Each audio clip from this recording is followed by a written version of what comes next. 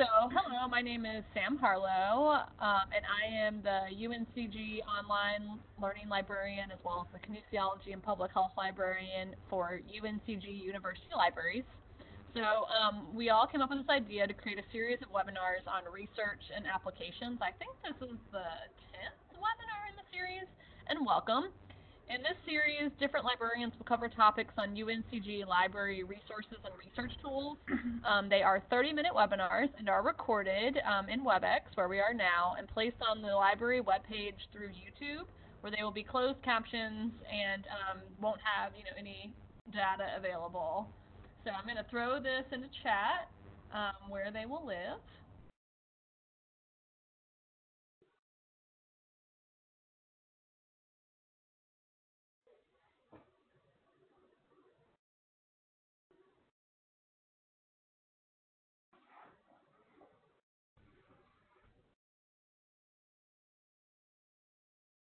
Sam, I think you're muted.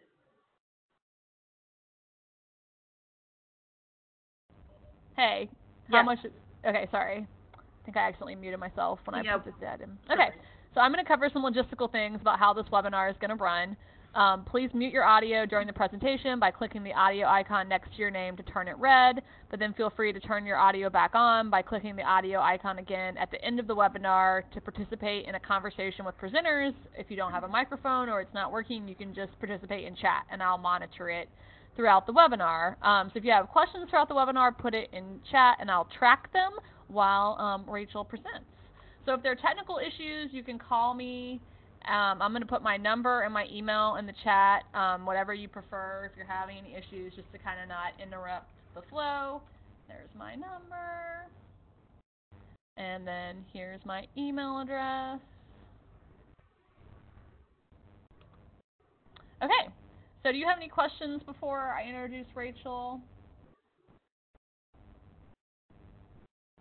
Okay, so this is Rachel. She is going to present on researching and finding newspapers at UNCG libraries. So Rachel, I'm going to mute myself and you can begin.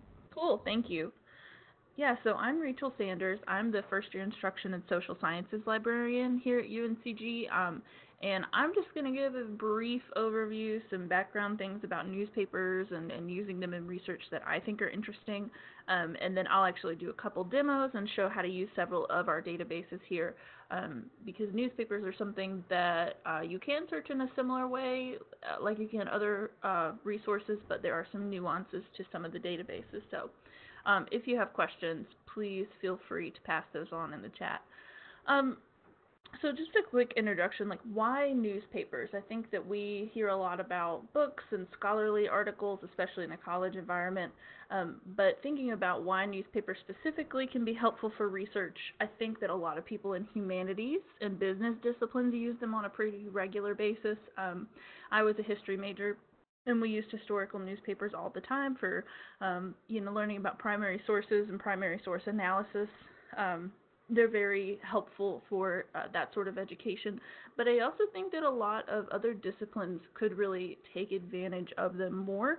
Um, they're a very good sort of uh, look into what the, the general public is being told and the general conversation around certain topics is at the moment. So that could be historical study, but that could also be really useful for, um, you know, just modern day and things that are happening right now. And you'll see what I mean a little bit more um, later on. The way that things are placed in newspapers, sort of front page views, we'll see some in a little bit, um, can be really interesting and insightful in terms of what is most important to a particular region. So we have uh, lots and lots of newspapers here, both in print and online. So it's a nice um, it's nice when you can look at them online because that gives you some flexibility in terms of format. You can zoom in on some of them, search, um, and you can access it from a variety of locations. But also, you know, we have large print collections and microfiche collections as well, if that interests you. So I'll talk a little bit about that. So deciding when to use newspapers um, can be a little bit tricky. So we have lots of different types of sources, like categories of sources, and I think we hear about books, scholarly articles quite a bit. Um, internet sources are definitely, um, you know, just think about blogs, government websites, stuff like that. And then uh, newspapers kind of don't get as much attention, as much love as I think they should. Um, newspapers qualify as what we would call a popular source. So we talk a lot about scholarly and popular sources with students here. Um, so popular sources are written by journalists. It's going to be very general interest stuff. You know, any of us could walk into um, a grocery store, pick up a copy of the New York Times, and roughly understand everything that's being said.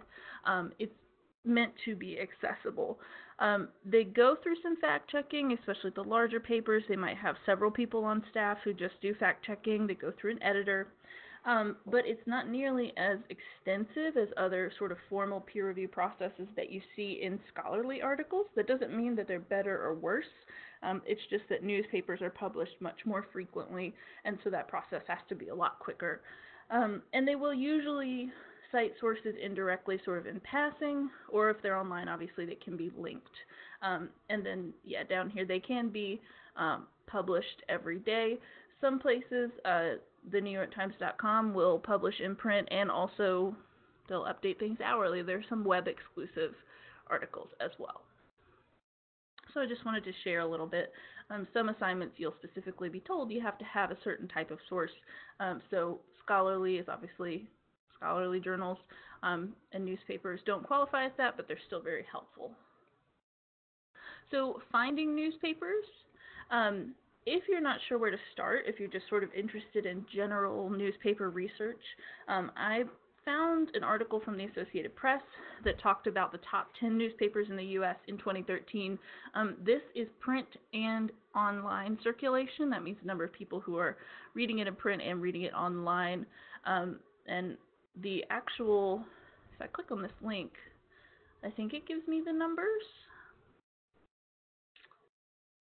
it's just interesting to see. Wikipedia has some of its information as well, um, which has actually sort of led me here. Yeah, so you can see um, the Wall Street Journal by far is, is sort of leading the pack here. Um, I think most of us have probably heard of most of these papers. Um, I think that they are all relatively reliable, um, and we'll talk about source reliability here in a second. But if you're not sure, um, you know what the big names in newspapers are, here are a couple that I would uh, recommend. Um, this chart is really helpful. It, it, it was created by a patent attorney named Vanessa Otero a few years ago. This was going around a lot during the election of 2016, and it's been updated several times, and I really like it. Um, it kind of explores media bias. So on the lower axis here, we have liberal to conservative, and of course, we're talking uh, American media bias mostly here. Um, and then down here, um, it goes from least quality to highest quality. Um, and she's got a lot of rectangles that she's added, some, you know, notes and things. My um, general observation about this is that most of the large newspapers tend to fall into this sort of relatively mainstream, minimal bias area. Um, and, and they tend to be, you know, higher than average quality. So New York Times, Washington Post, Wall Street Journal, um, a couple others that are around. Also, you'll see local newspapers on both sides of these. Um, so in terms of reliability, I think newspapers do a pretty good job. There are, of course, some like the New York Post um, that probably fall into some some territory that you may not want to use in academic work. And just going back to this, just because these are popular newspapers, they are the most popular, does not necessarily mean that they're great. So, for instance, the New York Post goes down here. Um, it's it's a little bit too far to one side, and it's got some quality issues. So, I, I will say generally that newspapers are reliable, but approach it with caution. I think is the best advice I can give. So these are some popular North Carolina newspapers. Um, if you've ever heard of these in Greensboro, we have the News Record. Um, Raleigh has the News and Observer. There's a lot of, um, you know, there's a lot of good uh, Triangle area content. Also, the Asheville Citizen Times and the Charlotte Observer. These, of course, are not the only newspapers. I think they're just sort of the the bigger names. Um, a couple databases that I'll recommend. I'm actually going to skip this for now because I think getting into a demo of them will be more helpful. Um, so this link, which um, Sam, if you could drop this in the chat, that would be awesome. Um, it's just uncg.libguides.com slash newspapers. And this is what we call a LibGuide. Um, they're created for a variety of subjects and courses, and uh, we actually have one dedicated to newspapers, um, which I find really helpful. So I'm going to show you a couple of features that I think are interesting, and then we can kind of uh, go from there if there are any questions. So if you're on the main page, Newspaper Finding Aids, and you scroll down into the second box, you're going to see something that says Newspaper Map. I've been playing with this a little bit today, and I just think it's kind of a cool thing. Um, it's not actually linking you to the text of these papers, but it's showing you uh, sort of newspapers, trying to get the map zoomed barely, uh, newspapers around the world. So if, for instance, you were doing a project on, um, I don't know, Venezuela, and you wanted to see some Venezuelan newspapers specifically, you could go here to the map and actually click on this, and it would tell you the name, where it's published, and the primary language that it is published in. Um, and you shouldn't feel discouraged if it's a language that you don't speak, because very often you can find translations of articles or uh, databases. Sometimes, even if it's not already translated, we'll we'll do a rough translation for you. And there's always Google Translate, so um, I don't fully endorse that, but I think it could be helpful in some cases. So um, it's kind of a neat feature. It also shows you papers with larger circulation um, are of course going to have the bigger dots. Uh, you can also limit by language. So if I were interested in, oh, it's up here, filter by language, English, it's going to show me papers around the world in English. And I believe that some of these are in multiple colors because they publish in multiple languages. That would be my guess. Um, or maybe it's, yeah, I think that's probably the most likely explanation. Yeah, multiple languages here. So I just think that's a fun tool if you're looking for a specific region, specific area. Um, I also want to show Newseum. Uh, you may have been to the Newseum. It's in Washington, D.C. Um, it's pretty cool. Uh, it is not uh, Smithsonian affiliated, so unfortunately it's not free, but it really is worth a visit. I really love it. This is their website, um, and they have lots of features, but I like, if you go down on the left side, you'll see today's front pages and then I'm going to click on the date and it will show me um, eight, they have 856 front pages from around the world. So we start sort of here in Alabama, and then you know I just poked through a few of them. And I was talking earlier about the placement of certain articles on um, on front pages of newspapers and how that can kind of give you a clue as to what's sort of most important uh, to that community at that time. So we may see, my guess today would be that um, we would see a lot of newspapers talking about the uh, the murder of the journalist that's just happened, um, or the suspected murder of the journalist. I'm not sure where we are on that, but potentially you would see a lot of those. You can also view it as a map. Um, and I believe they cover more than just the United States. We could probably we try Europe. It's going to show me that. And you can mouse over it and see. It's not the most uh, advanced mapping software ever, but if I were interested in it, here it is. I click on it, and it gives me a larger view. This is from Estonia. Okay, this looks sort of tabloidy, but uh, you know, it's it's just an interesting tool. It's like the other map that I showed. Um, if you are just curious to see what's happening around the world and what's being prioritized. Um, let's go back to the guide. And the next one I want to show you is called Newspaper Source Plus. This is a little different. This is a database uh, that is owned by a company called EBSCO that we subscribe to. And here's where you're going to search uh, for if you were looking for articles about a specific topic and not necessarily geographically. So I'm going to search for plastic straws it added a word for me. You'll see as I'm typing in, by the way, it's giving me suggestions, um, and you should feel free to use those. Um, I'm going to do plastic straws and pollution. And what that's telling the database is I want you to search for the phrase plastic straws and the word pollution. Sometimes as a precaution, I will put these in quotation marks so that it's sure to search it as a phrase, although I think most databases now are advanced enough to pick that up on their own. I get 103 results. Um, I'm going to recommend a couple filters here. So on the left side, you're going to see under Limit To, it says Full Text. If you click on that, it's only going to show you things that we have online access to. Um, and you shouldn't feel super limited by that because you can always request it through our interlibrary loan system. Um, but if you're looking for something quickly, that's one way to deal with it. You can see lots of different types of sources, newspapers, U.S. newspapers, news wires, news transcripts. Um, so you know you could you could play around with that. I'm also going to click on the title of an article, and here we have some good data, um, where it came from, the abstract, which is you know a summary of what the article is about, some subject terms. So if you were doing a project on marine pollution, these might be some good terms for you to try to search if you were struggling for information. And then over here on the left, we have the actual PDF of the article. Okay. I don't know anything about this particular publication, the scanner, um, so I would suggest Googling it, kind of try to get a sense for who they are and, um, you know, credibility, things like that. But that's a very sort of basic search here. You can also see uh, some of these have HTML full text, which just means that um, this is the entire article right here.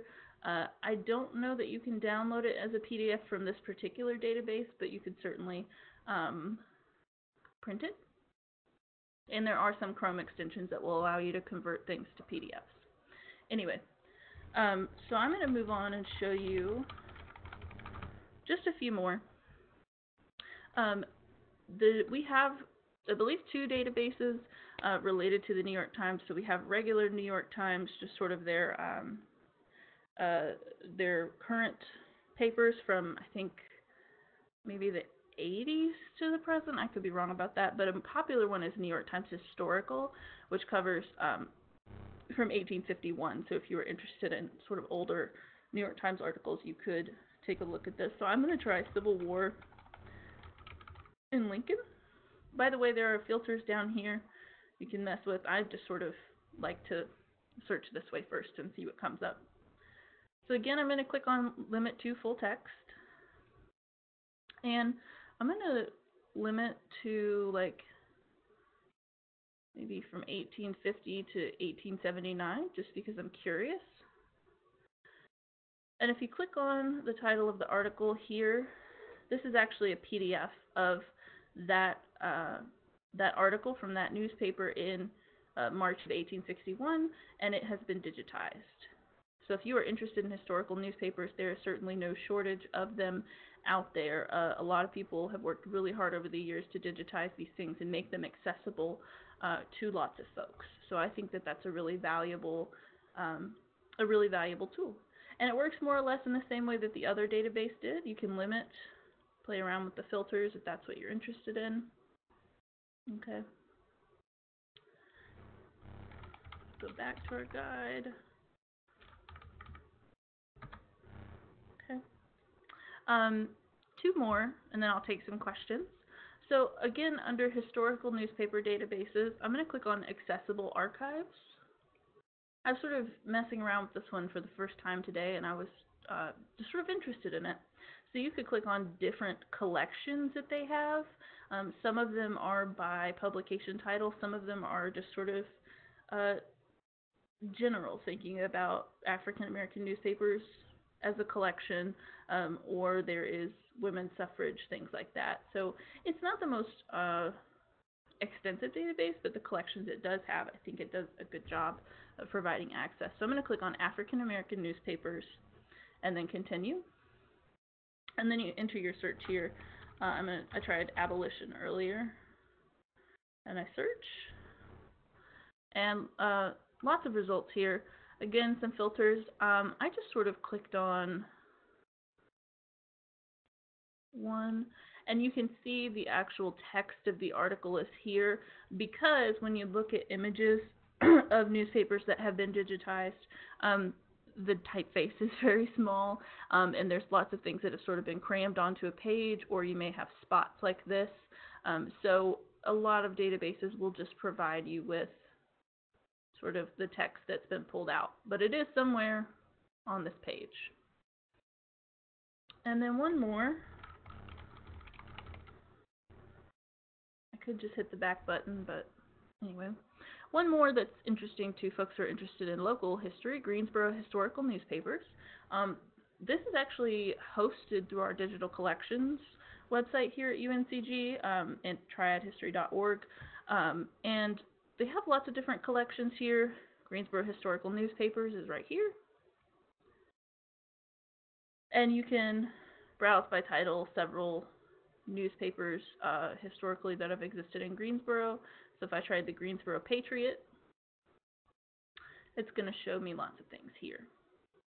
It's under format, source, subject. Um, it's maybe not the most uh, user-friendly sort of interface, but I think that there is some great content here. Um, and the folks in our digital uh, collections department have really done a lot of amazing work getting these things digitized and available, and, and the interfaces only continue to improve. So this is from 1869, Greensboro Patriot, and I could sort of check this out. So that's something interesting. Um, just a couple more points to make here about newspapers. Uh, we have newspapers in print, as I mentioned earlier. Um, you can come in and read, you know, probably the last, I would say, two weeks worth of the New York Times, things like that. Also, lots of current magazines. Um, a lot of newspaper articles will also show up in our catalog. This way, I know this image is kind of hard to see. Um, microfiche or microfilm, um, and those are certainly available for you to use. We actually have special machines here that will allow you to uh, look at these uh, look at these films and, and uh, save images and things like that. It can be a little daunting at first, but we're always happy to show you how to use those machines as well. Um, I also just wanted to point out our special collections and university archives here. Um, I believe in some of their collections you can find newspaper articles related to specific uh, specific concepts and topics. And the, their staff is always very happy to help.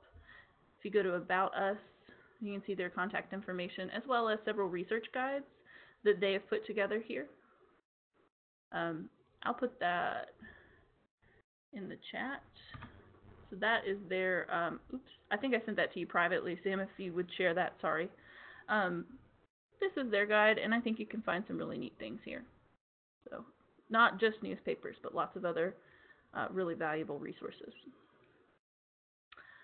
So are there questions? That was a lot of information in not a lot of time, so I want to make sure that if there's anything I can address, I do.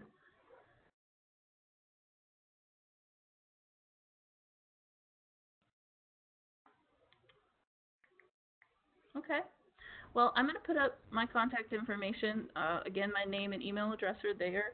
If you have any questions at any time, I'm always happy to help you. Anybody uh, in our department or in our library would be certainly glad to help with finding, understanding, accessing newspapers anytime. Thank you. Thank you. And um, Timothy, if you think of any questions, I know uh, you don't have a mic, so you're welcome to put them in the chat. Um, so this webinar will be archived um, here on that um, link I just threw in the chat. Um, and note that we do have another one coming up in November on SAGE research methods. Um, so that's one of our databases that has a lot of resources about research methods. So, uh, you know, different types of research um, in different types of forms too.